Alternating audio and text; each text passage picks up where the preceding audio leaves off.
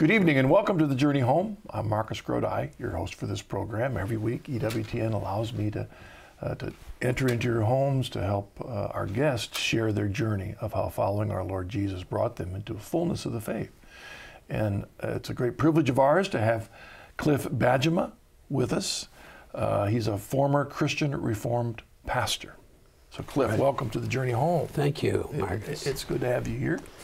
And uh, you were sharing before that uh, uh, the Lord has opened up so many doors for you now after coming into the church so you have time to fish and hunt and do your garden. I'm thinking, boy, I wish I was there.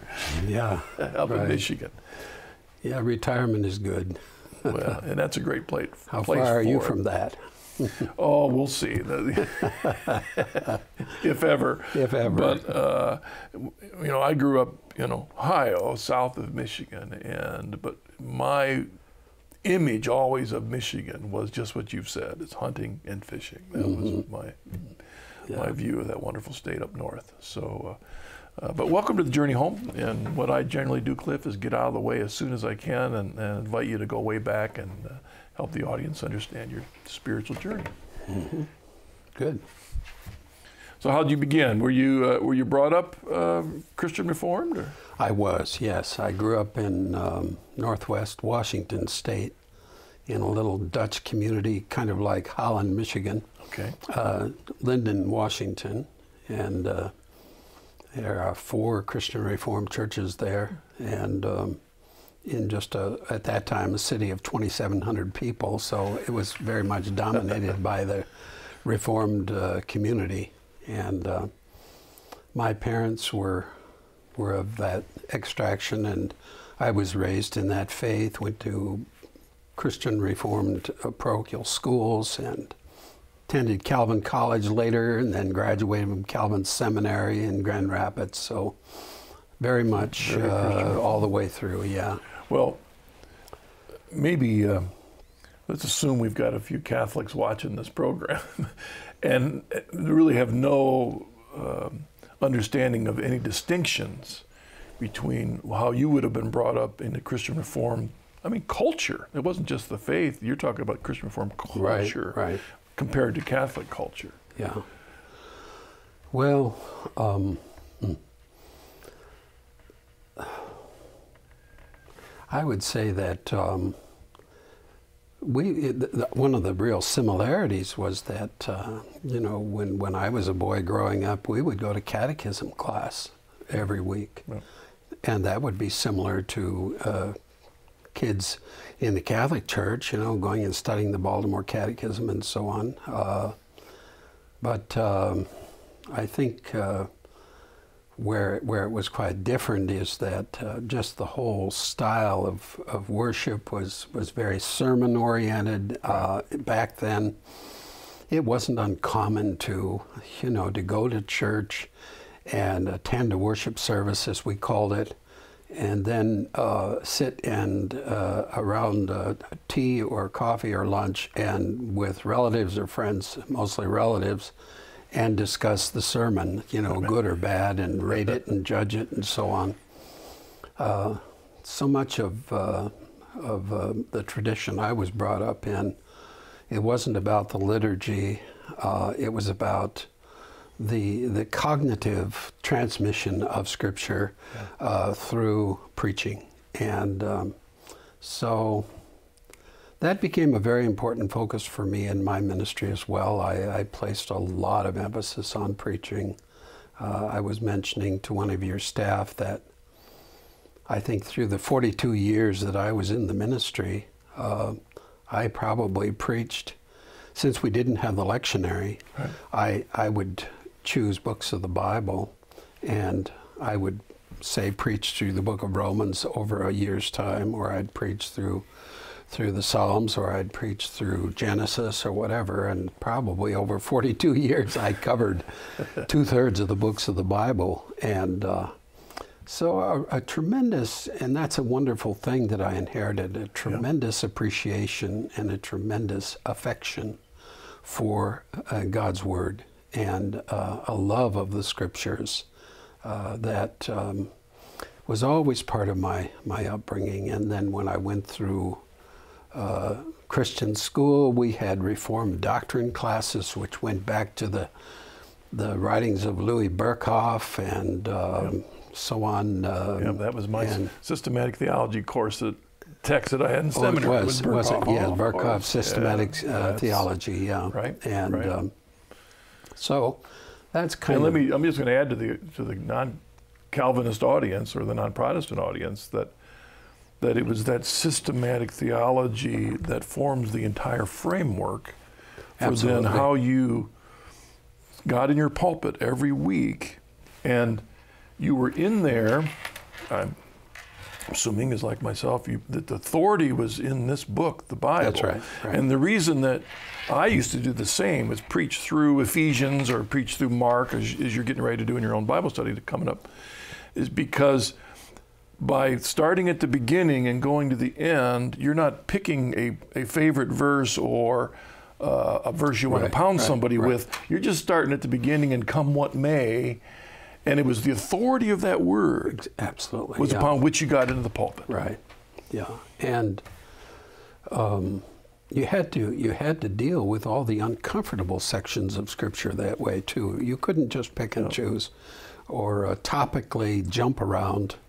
Um, I was mentioning to you earlier when we were talking um, before this interview that um, in the Catholic Church, it's it's uh, preaching from, of course, the lectionary and the, the liturgical readings from the Old Testament and the epistles and the Gospels each Sunday, and and then the Psalms as responses. But I think that um, uh, what I've noticed, and I, it's it, it's okay, but I, I'm not sure it's a real strength.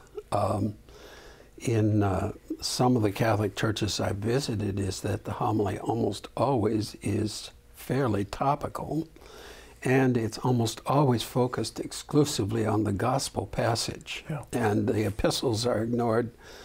The Old Testament largely is just mentioned. Um, now, this isn't always true, and I'm sure there are churches where where it's more faithfully uh, preached, but. Um, uh, uh, and I've heard some wonderful homilies in the Catholic Church, but I, I can't say that I would think that the preaching is across the board as strong as what I was accustomed to hearing as I grew up. Well, again, in, in the, that tradition, that great Calvinist tradition, it's Yeah. when we think of, if we were to try and name names, recognizable names of Calvinist leaders over the last 300, they were always preachers. Yeah. You know, like uh, there was uh, was the Scottish Presbyterian. First name was Peter, who was the um, the chaplain to the Senate. There, oh, Oh, you yeah. know, What but- was his name again? I can't I can't. remember. I can't either. but he was a preacher. That's what he was right. known for. This Yeah. great pre- movie about him. You Right, know, a man yeah. called Peter, I think was his name. You know, but preachers about Right. preaching the word, and you would come for that, and because it carried the authority not of that person, but because he rested it on the authority of this book. And Yeah. another thing that I would say is distinctive to that. Uh, and correct me if I'm wrong, to that kind of upbringing, a Calvinist upbringing, is this idea that where Luther was more well, if- it doesn't say you can't do it, you you kind of can. Whereas in the Calvinists world, if it doesn't say you can, you can't. yes, right. A very strict understanding of the Word yes, of God. Yes, yeah. A lot more, uh, uh, shall I say, a kind of almost a tendency to a kind of legalism and a casuistry that was uh, very, very strict. I mean, we couldn't, I mean, I didn't go to a theater until I was probably um, junior in high school, Yeah. you know, in the 19, late 1950s. Um, and um, so we didn't, uh, you know, and, and dancing, there were never, you couldn't dance, you couldn't play cards except rook. Call that Christian Reformed rook. and uh, we were permitted to play that, but I mean, it was very, very strict. And you, you know, the Sabbath laws, you never went out to eat, you did not, on, on Sunday, you didn't you didn't. Uh, uh, there were friends of mine whose whose they couldn't even go out and to and play catch or play ball or, or go swimming or anything like that. It was uh, this was God's holy day, and it was very, very strict. That isn't that way at all today, Right. but that's how I was brought up, Yeah. and um, so, and it wasn't all bad. It was, you know, I I look back on that and I smile, but on the other hand, I think that, uh, you know, it came out of a deep piety of Yeah. my family and of my parents and of those people who taught us, and it wasn't just. Uh, a strict legalism. I think it was a deep piety, and they really had a profound respect for the commandments and so on. The commandments are a big thing within the. Reformed faith. The preaching of the commandments as part of preaching the Catechism, the Heidelberg Catechism, so on. Right. So, Well, there would be an example where Presbyterians and Lutherans and, and Calvinists kind of overstepped that Heidelberg Catechism for Right, a right. unified and the faith that they Westminster, would, they would Westminster. That was really the, the foundation for my own idea, the, Right. my own f- preaching. Um, another thing that I think about when I think about that fairly strict Calvinist background is predestination. right. Was that a part of the an idea as you look to other people? Predestination was one of the major uh, obstacles for me in remaining Calvinist. Um, and I, when I went through uh, high school already uh, and studied Louis Berkhof, I, I started to have some, some reservations that I didn't voice. When I got into uh, seminary at Calvin, um, I used to write papers and I began to question um, quite seriously the canons of Dort, especially. The canons of Dort are one of the three uh, confessions uh, that you subscribe to when you become an office bearer within the Christian Reformed Church, along with the Heidelberg Catechism and the Belgic Confession. Right.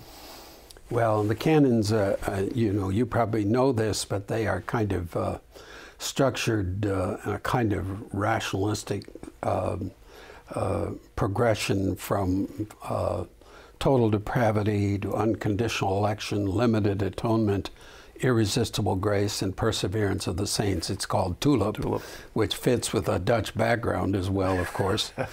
but um, I just uh, began to have lots of questions about it.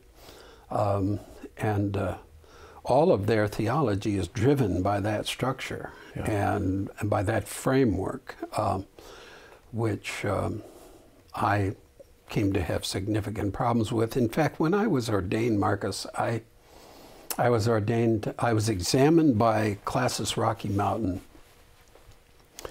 uh, because I had been called to a church in Colorado Springs, my first parish, my first church. And before I could begin the ministry there, I had to be examined uh, by um, uh, the uh, classis, as it was called, uh, which consisted of pastors and elders, two elders and a pastor from all of the churches in that region. And uh, I was examined all day long, and the examination finally ended at about 1 a.m. the following day because I got to the point where I honestly stated to them that I had these reservations and questions with regard to the canons of Dort. And um, the uh, I had issues with, um you know, the, the their understanding of total depravity, um, their understanding of election as a kind of, um, shall I say, a selection that involved a rejection, Yeah. a selection of some before the foundation of the world that involved a rejection of the reprobate, um, and that. Um, and then the, the whole idea of that the, the atonement of Jesus was limited, um, and um, I, I questioned that, and then the irresistibility of grace, that it couldn't be resisted, that there was no functioning of the human will anymore, it was completely dead. And, um, and then the perseverance of the saints, that once saved, always saved. Uh, all of those, all of those Yeah. points became problematic for me, and so I, uh, I, I expressed some of this to the classis honestly, I thought, well, if I'm not going to be allowed into the ministry, uh, at least, I, I, or if I'm going to go in, I at least have to go in with integrity. And so um, I expressed some of these things, knowing that probably two thirds to three quarters of the men sitting there, especially the pastors, agreed with the same reservations. Uh, even though they have to sign a form of subscription, saying that they fully agree with these confessions. And uh, so I said, Well, you know, I don't know that I could completely say that. And uh, so, well, then they went into executive session and all this debate about what to do with this man. And uh, finally, uh, because there probably were so many of them who had, uh, you know, basically watered down their Calvinism for so long yeah.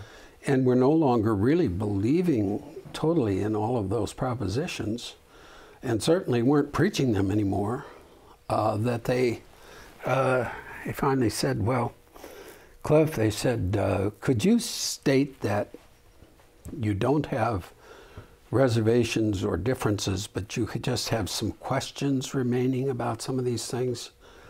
Uh, I said, Yeah, I could do that. And they said, Well, secondly, can you pledge that you will not publicly undermine those confessions from the pulpit in your ministry? And I said, I believe I can do that. Yeah. I said, I will want to expositorily preach, uh, and it was, this is something you may want to explore, but I, going through Romans, uh, in I was going to say, how could several you? times I yeah. uh, and teaching Romans to discipleship groups that I've always been a huge believer in discipleship of young men and women that I get around me for a couple of years and I usually one of the books I always do with them is Romans and. Romans interestingly enough brought me in the very opposite direction than it did Luther or Wesley.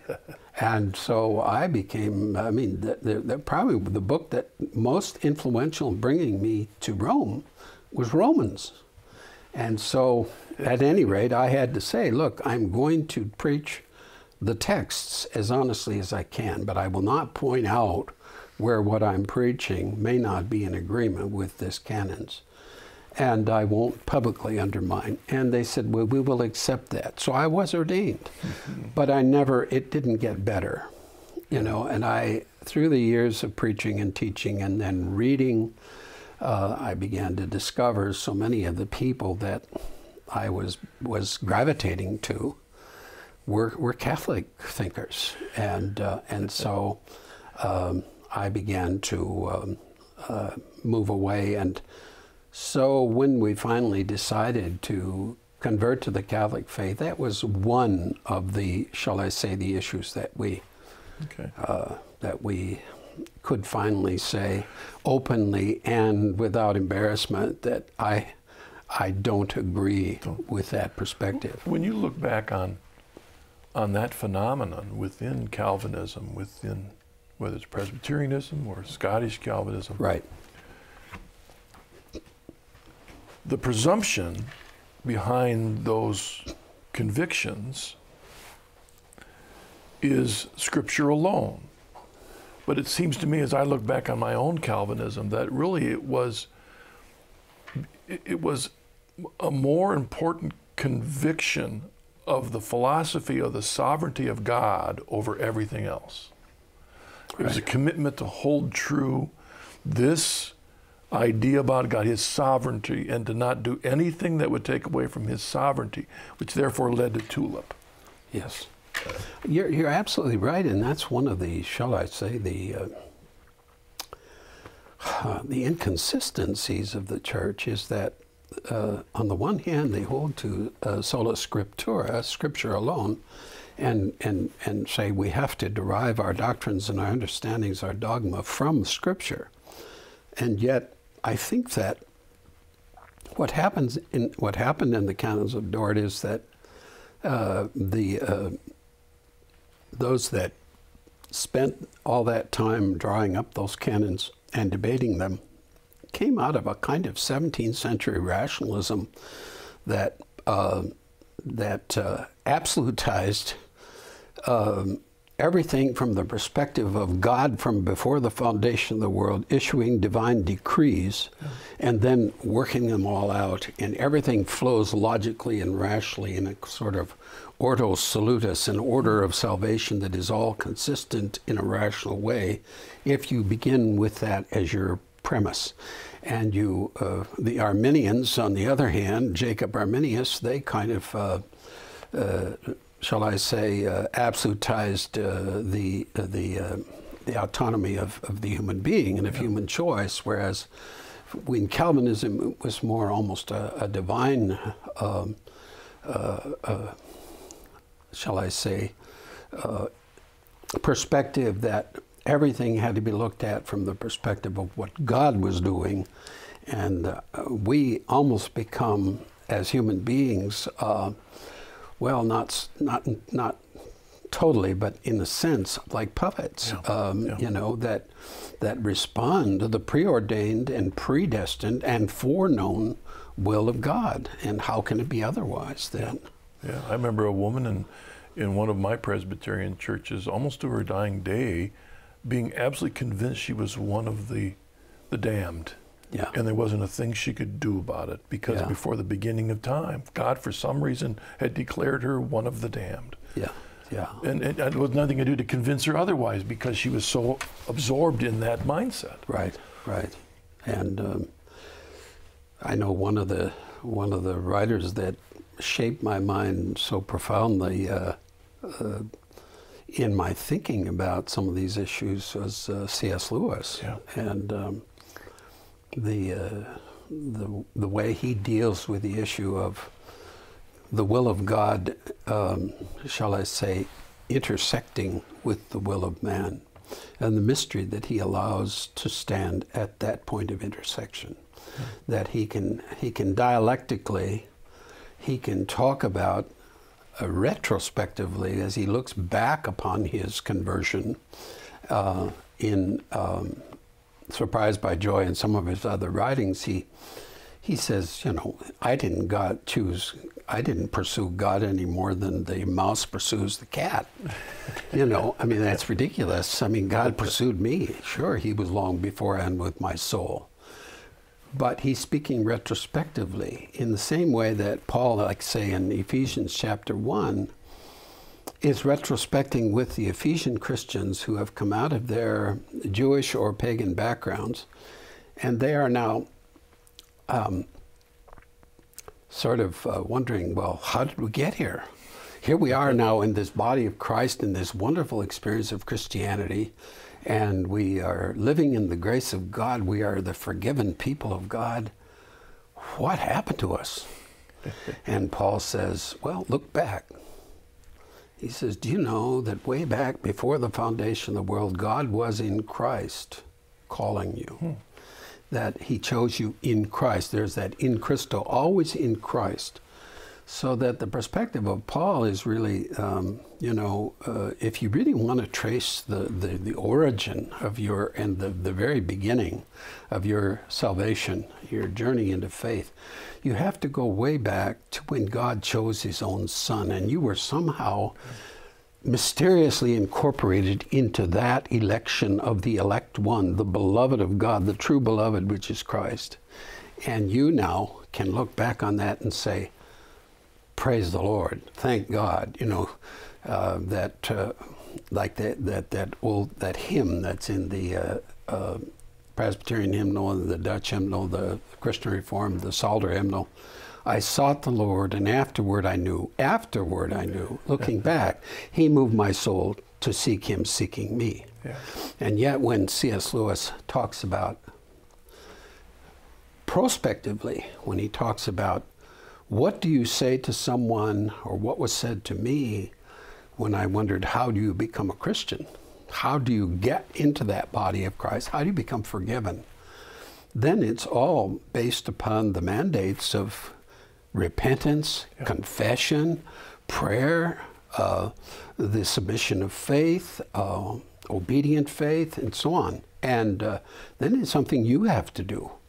And so uh, somebody was telling me one time years ago, and I've used this a lot in preaching, that if we were to imagine that there's an archway here between you and I, and let's say that you are not a believer and that I am, and um, and you say to me, uh, Paul, I'm, let's say I'm Paul, and you say to me, Paul, how do I become a Christian?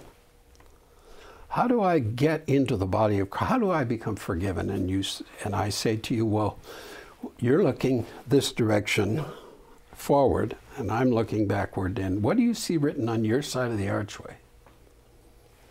And you said, Well, I see written there, believe on the Lord Jesus Christ and you will be saved. If you confess with your lips that Jesus is Lord and you believe in your heart that God raised him from the dead, you will be saved. I say, Okay, then do it. And uh, so you get on your knees and you crawl your way through the archway and, and, you, uh, and you come crying and weeping and, and you say to me, Wow, this is amazing. Here you are now in the first chapter of Ephesians. How did I get here? And Paul says to you, Turn around, Marcus. What do you see on this side of the archway? You see, tis not that I chose, that you chose me, but that I chose you and called you to be my son in love. That's what Ephesians 1 is all about. But what Paul doesn't do in Ephesians 1 is try to resolve the mystery of how those how the sovereignty of God and the sovereignty of man can somehow intersect it's like Chesterton said, um, and I, he was another one of those that really influenced me to become a Catholic. In his book Orthodoxy, yeah. he said, Good theology doesn't solve all the mysteries, it locates them in the right places. and I just, you know, and that is why Lewis so appealed to me because he could speak dialectically in that way about the the sovereignty of man prospectively and the sovereignty of God understood and viewed doxologically or retrospectively, looking back, and uh, give all the praise and the glory to God, and say it was God's grace, it was by faith, and all that, but. Uh, but he always remembered where he was standing and which way he was looking when he said what he said in his books.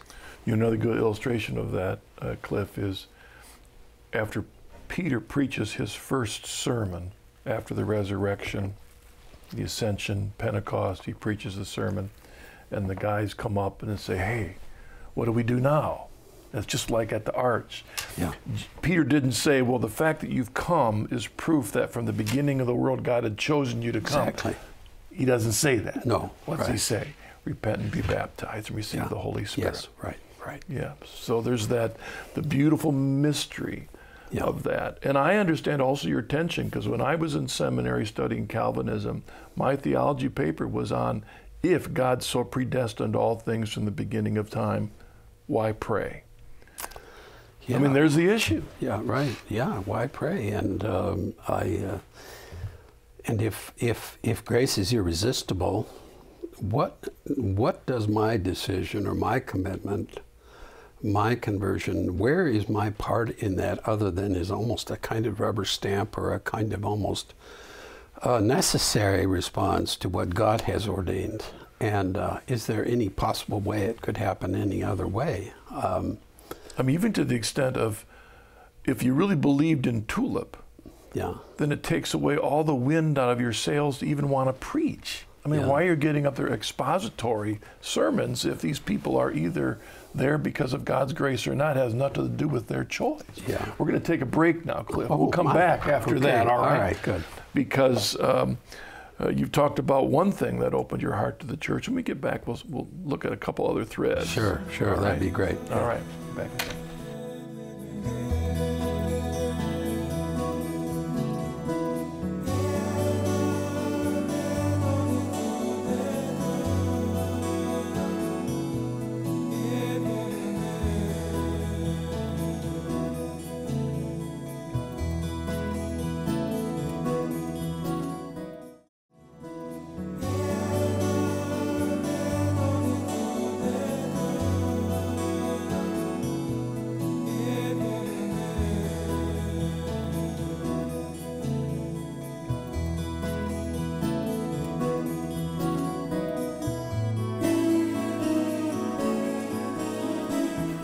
Back to the Journey Home. I'm Marcus Grodi, your host, and our guest tonight is Cliff Bajema, former Christian Reformed pastor. We're having a good time bantering on, on, on our common background with Calvinism, and I remember having the same struggles with you. So that was one of the the, the issue of predestination.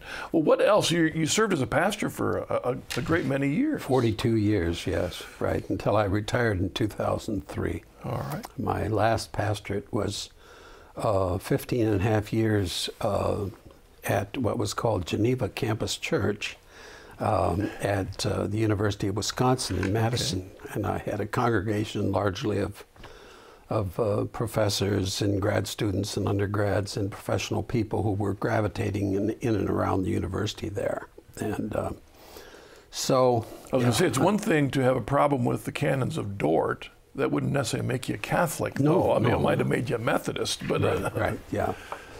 Well, yeah, there were so many other issues, and I wouldn't want to say that that was, if that were the only issue, I'm not sure that I would be Catholic today, although it certainly played a part in it. Um, but I, I think that, you know, when I when I've thought about it, when I made my testimony after I was confirmed, I had to use the analogy of hunger that I was hungry. There were a lot of deep seated hungers in me that were unsatisfied mm. after all these years in ministry. And one of them was a profound hunger for the Christ. Not the Christ of concepts and cliches or the Christ understood through sermons or seminary scholars, but the Christ that I could touch and taste. Mm. The Christ that I could um, that I could uh, visualize, and the Christ that I could encounter uh, in the Eucharist um, and in the liturgy. Um, I see the well. I came to appreciate so much the liturgy in the Catholic Church and that it is the same in all the churches wherever you go. You know, that was a frustration in the Protestant faith is that after I retired, I had a chance to visit all these different churches, and you never knew what in the world you were going to get. You know. Um, so at any did you rate, ever, um, did you ever do pulpit supply? Oh yes, because that would be the frustrating thing. Yeah, all yeah, of a sudden, what are you going to do? but at any rate, I, I, you know, came to see that the liturgy is, is a, uh, it's a drama, a reenactment of of the whole drama of redemption uh, and that it culminates, it begins with the knowledge of sin and the confession and uh, so on, and then ends with the victory of the death and the resurrection of Christ celebrated in the Eucharist. And you take that journey in every uh, Mass. And, uh, and so if the, the homily is weak, which it may sometimes be, it isn't always, sometimes it's wonderful, but I didn't have to go home and, and say, well, that worship was a waste of time because I didn't get a good sermon today, which is the way it always was in yeah. previous experiences of worship. But the liturgy is always sufficient to rescue me from the inadequacies and the foibles of whatever particular presider uh, priest is leading in worship. And so, and especially going home and feeling that I was fed that I was infused with the with the living Christ and with His Spirit. That, to me, has become so precious, and to my wife as well. Uh, when we first started to, after we were confirmed, we first started taking um, uh, the Eucharist. Um, my wife, her name, her name is Faith. She would she would literally sit there in tears and just weep in church, because um, she was so used to just, well, hearing me preach all the time, and she thinks I'm the best preacher in the world. It wasn't that.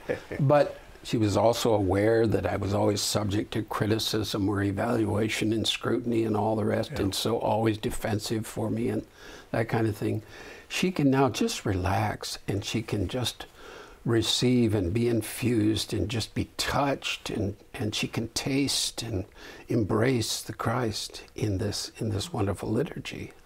So that was a hunger. I had a hunger for the rest of the story, or the whole story, shall I put it that way. The, so much of the, the history of the church that I was exposed to was that which began in the 16th century with the Reformation. Yep. You know, it was it was as though the rest of the history was touched on briefly, but um, and uh, but I wanted I wanted to know more, and so part of my journey into Catholicism was was reading um, the Orthodox Church by Kallistos Ware and some of the Orthodox theologians. Uh, Peter Gillquist was a was an influence, um, and um, I uh, I came to appreciate that whole Eastern side of the faith, and that got me into reading like the Philokalia, the five volume oh, series of collection of excellent. the writings of yes. all of the, the church fathers from the eastern side of the church. Right. And uh, I began to realize, holy cow, I did, I haven't, you know, I've been, I've had such a limited perspective, a yeah. Western perspective, but not just Western, but Protestant Western, 16th century and on. And uh, so I wanted the whole story. And when you get the whole story, um, it changes your perspective on a whole lot of things. I was going to say you're talking about the Philokalia uh, as well as Catholic spirituality. Well, within a strict tulip Calvinism, there's no real call for that kind of growing in intimacy with Jesus Christ. Yeah. Yeah. A call for holiness, a call for changing, continual conversion. Yeah. yeah. Uh, well, I think partially that that, that comes out of um, this separation of justification from sanctification, um, which was almost total with Luther. With Calvin, they were still connected some, but again, as I studied the book of Romans, and you go through those first uh, um, uh, five chapters of Romans, you're dealing with the whole doctrine of justification by grace through faith. But then you come to chapter six, and you, uh, at that point, uh, both Luther and Calvin would say, "You're now you're now into the gratitude portion of your Christian experience. You're now into your response portion." And Luther would say, "Your works and the good things and this acquisition of holiness and so on is not part of your salvation." Yeah. Whereas in the Catholic faith, um, salvation is understood far more dynamically as as uh, uh, where justification or being forgiven and declared righteous by God, and sanctification, being renewed, being participant in the resurrection as well as in the crucifixion of Jesus, that is uh, is all part of a progressive salvation and conversion. Whereas in, in Calvinism, for example, like in the Heidelberg Catechism, you have the division of the catechism into sin, salvation, and service. Okay? So, um, or guilt, grace, and gratitude. well, the grace part goes up through, you know, the, the fifth chapter of Romans, and then you get into the gratitude and the service part in the rest. And, uh, and so your your good works and your holiness, your pursuit of holiness is encouraged, but it isn't something that is relative to whether you are saved or remain saved. Um, whereas in the Catholic faith, that's not true at all. You have to, I mean, this pursuit of holiness um, is, is part of the process of salvation. Yeah, that, and, that one verse in Hebrews where it says to to seek the peace and holiness apart which you will never see yes. the kingdom right, of heaven. Right, right. I mean, that's a call to yeah. seek that. I was thinking about your expository years. Uh, um, I assume you preached through the Gospel of John. Oh, yes, several times. So there's a couple places in that Gospel, John 6 being one. I'm wondering how you handled that. But also yeah. John 15, where it says you've got to abide. Yes you know, dealing with the, the, the, the, constant abiding in a Calvinist theology right. would have been tough. Right, right, yeah.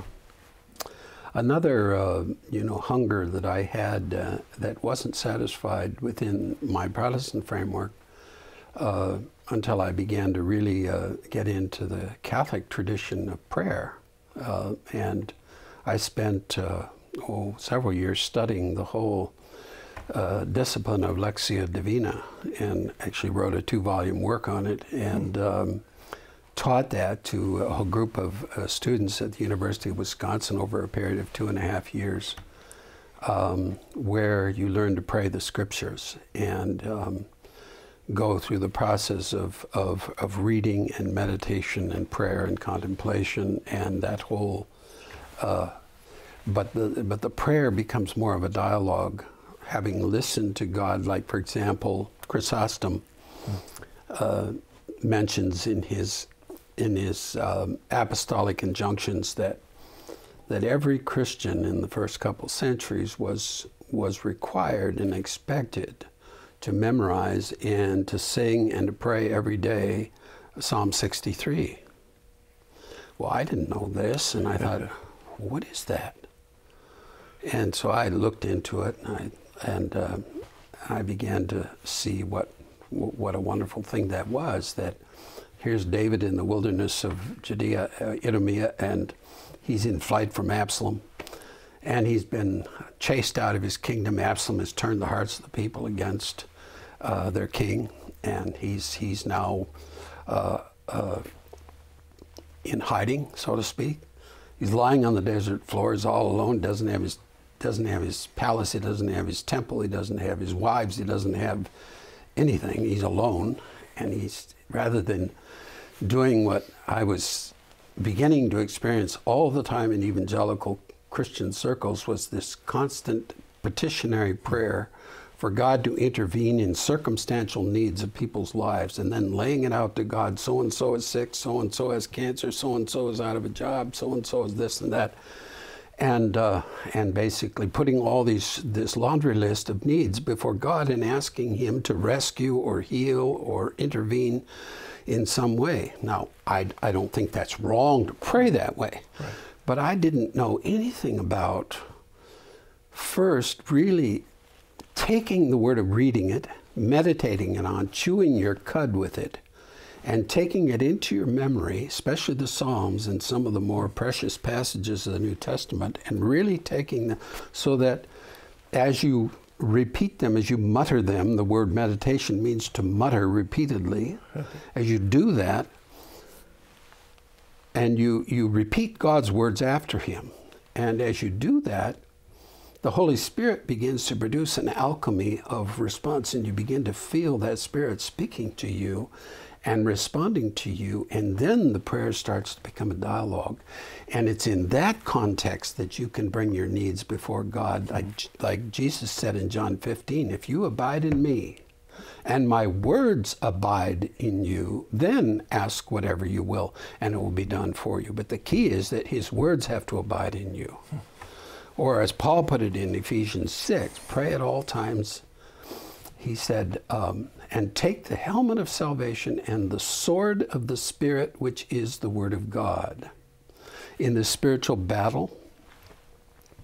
And then the very next phrase is pray at all times in the Spirit with all prayer and supplication. So if the sword of the Spirit is the Word of God, and I'm supposed to pray in the Spirit at all times in all situations, that must mean that I should be praying the Word of God and that my prayer has got to be shaped and guided by that. And that whole tradition of prayer came out of the liturgical church, out of both the Eastern Orthodox and the Catholic tradition, out of the out of the devotional writings of the saints that have so shaped my life. And uh, so that was another hunger yeah. that was only satisfied there.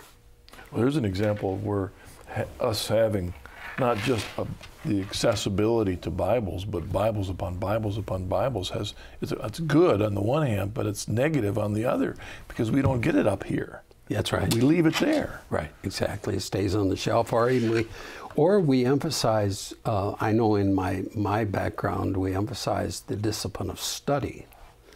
So it was always an intellectual process, yeah. but we didn't emphasize the discipline of meditation or contemplation. And so uh, the idea of taking it into you and memorizing it, uh, so that, for example, like when David was on that floor of the desert, he said, Oh God, you are my God.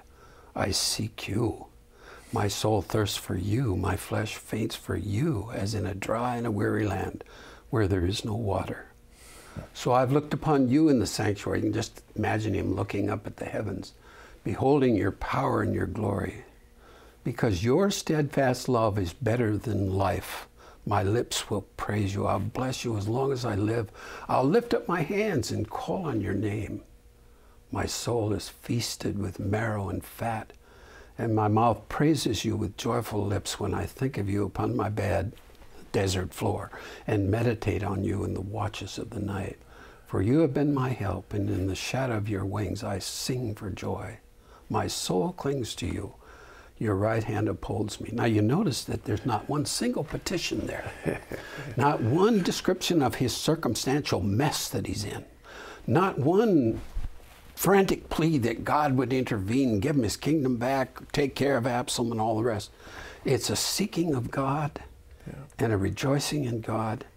Little wonder that the early Christians were expected to pray that every day. I have come to do that now, and many, many other scriptures. Uh, but that so. was what you just did was a great example. I think it was St. Augustine that was talking about why pray the Psalms. Well, now we live in a world where people want to emphasize the spontaneous, free expression of the faith, whereas Augustine says, no, no, no. Y- you learn how to pray. Well, you know, in, when in, you memorize and pray the Psalms. In Acts 2 42, right after Pentecost, when the early church gathered together uh, daily for worship in their homes and in the temple, it's the writer Luke reports to us and day by day, uh, they devoted themselves to four things to the apostles' teaching, the, the didache, to the uh, fellowship, koinonia, to the breaking of bread, which is the early expression of the Eucharist or the agape feast, and to, in the Greek, tais proseuchais, plural, with a definite article, to the prayers not the prayer singular. In other words, it wasn't just this spontaneous, now we're filled with the Holy Spirit, now everybody just erupt in prayer. No, they devoted themselves to the prayers. Well, what were they? Well, they had to be the prayers of the Psalms, the prayers yeah. of the apostles, the prayers of Jesus, uh, and so on. And, and they had those, and they you know, and when, when the whole monastic movement began, like with John Cassian and so on, who became so frustrated with the reforms of Constantine, and many of the, uh, the younger priests were escaping from Rome, and he went down to the Desert Fathers in, in Egypt and, and spent time with, um, with some of these Desert Fathers and uh, John Cassian, um, you know. Uh, he, he, and this led into the whole uh, monastic movement and, and Benedict of Nursia and his order and so on. Well, what did they do? Well, they would gather together as communities of faith and they would collect their collective memories of Scripture. And when they got a manuscript in their hands back then, if you had, say, a portion of Isaiah or you had a portion of the Gospel of John or whatever, you would you would devour it. Mm. You would literally consume it and you would memorize it as quickly as you could because you might not have that manuscript very long. So then, when they would come together in the divine order, they would share their collective memories and then they would pray. That's Lectio Divina. That is prayer. And again, this was part of the rich, rich tradition of the church that that brought me gradually into the Catholic faith. We've got about seven minutes. Cliff, I want to make sure you have uh, the opportunity to give, the, cover all the bases uh, oh. that open your heart to the church. Well, I, um, I think that you know we we mentioned earlier about the, uh, the, the, how precious the Scripture is to me, but I was also very hungry for the uh, the rest of the story, yeah. and the rest of the story is the, uh, the role of the church in interpreting the scriptures and passing on not just the scriptures, but also the oral tradition of teaching that came originally from Jesus and then through the apostles and through the bishops all the way down to the present day. And so I feel like, um, you know, uh, without that that sacred tradition and without that, see, I've I've changed my phrase. It's um, uh, uh, from Scripture only to Word of God only, and the Word of God understood not just as that which is written, but that which has been orally transmitted in yeah. the sacred tradition of the church and uh, has been infallibly transmitted through the uh, extraordinary magisterium of the church, primarily with the the uh, the, ecumen- the councils of the church ecumenically meeting through the years. Which isn't so, just an intellectual, but no. it's all. It's the liturgy. And this prevents you from this prevents you from this sort of um, well what are there 30,000 plus yeah. Protestant denominations today because everybody's their own interpreter. Yeah. Scripture only, well, yes, but somebody still has to interpret it. And I was so hungry. I, I, there were so many reforms and changes going on in the Protestant world, particularly ethically and morally. Yeah. And uh, this was starting to come in my own denomination that I began to be hungry for somebody that could speak with some authority and say, this is what we stand for, and this is how the church has always understood it. And that, that, that had some authority that could co opt me or co opt any theologian or any academic teacher in any seminary. And that's so comforting to me in the Catholic faith as well, because there are a lot of teachers in Catholic seminaries that are just as liberal, if not more, than some of those that I have become disgusted with in the Protestant faith. But but they don't have the authority to change anything apart from the uh, the working of the extraordinary magisterium of the church, and that to me has brought much peace and has settled my soul in a way that uh, uh, I can't even describe how profoundly grateful I am for that.